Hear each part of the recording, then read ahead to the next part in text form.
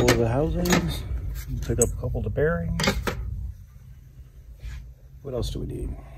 Long as Duke don't pull me over doing this. I think we'll do it ourselves. I don't need a chain separator.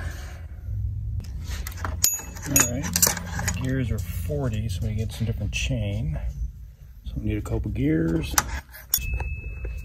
a couple bodies. All right, some DA40 chain. There we go. Got some parts that we've kind of cobbled together.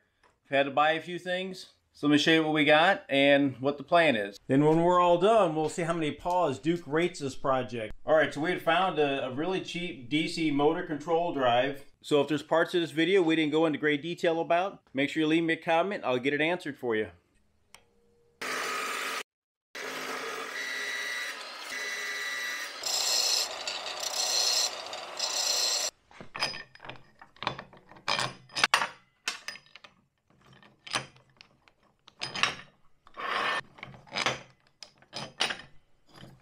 These bearings are awful tight in these housings, so I'm having to sand this housing just a little bit.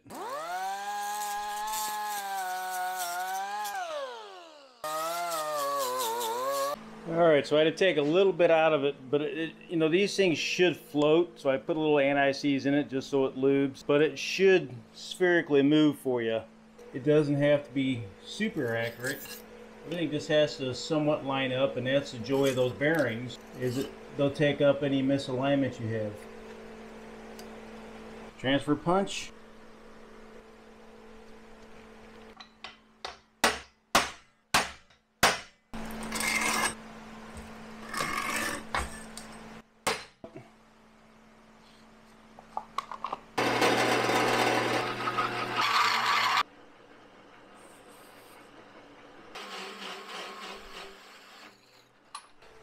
Okay, so let's see how this thing goes together.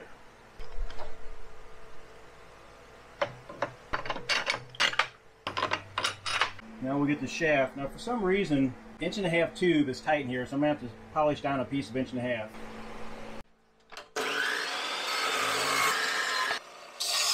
Stock tube just doesn't just fit inside these bearings.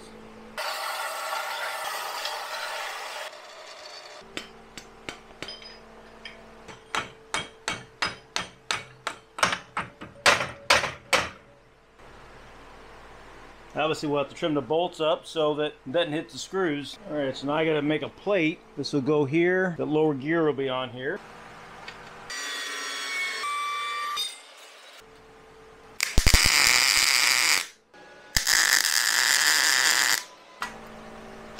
So I might have to add some slop to make sure that the chain isn't twisted. But pretty much that's it. That's where it's gonna end up being.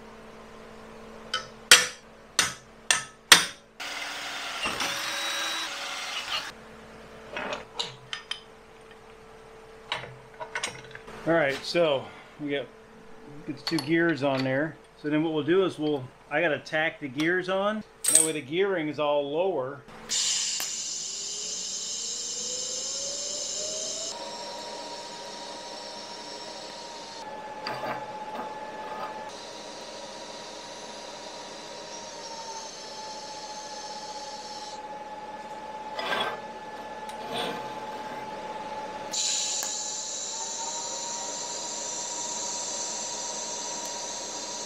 Very important part of this whole thing, the chain.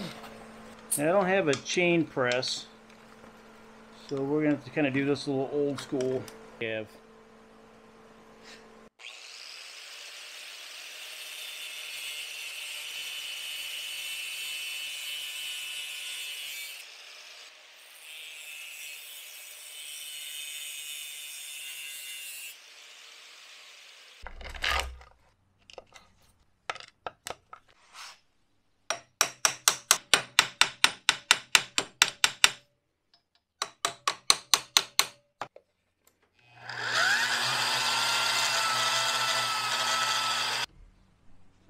All right, let's see if it drags now.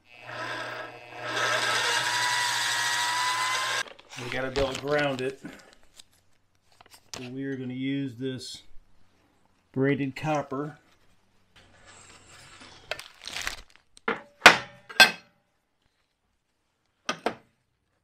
So what we'll do is we'll just mark this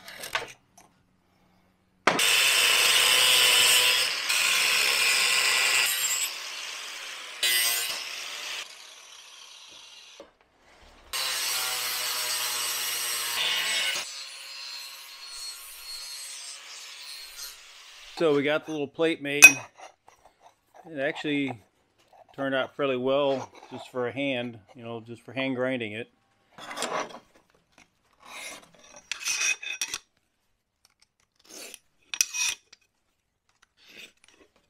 Yeah, came out fairly round.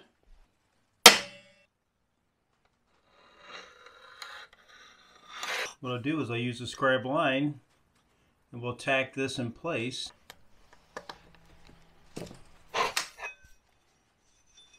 Tap.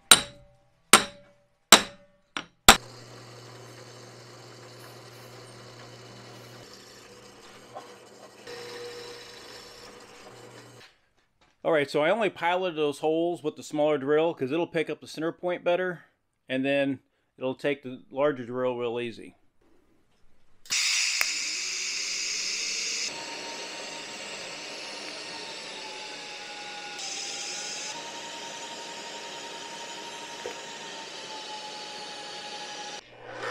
So when you get your readout, if it's showing, let's say 30, it's actually off 15 one side, 15 the other.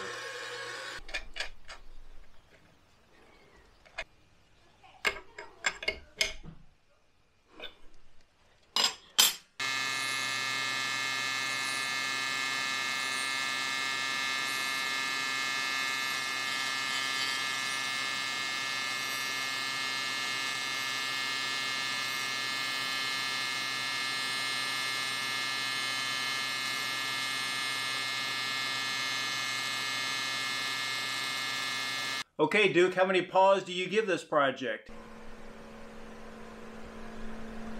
Okay, so you've seen it. Duke gave that two paws. So it's something you can easily do in your garage as well. You just got to round up the parts. They're fairly easy. And then, need any help welding, I'll see you in this video. Please remember to like, subscribe, and share.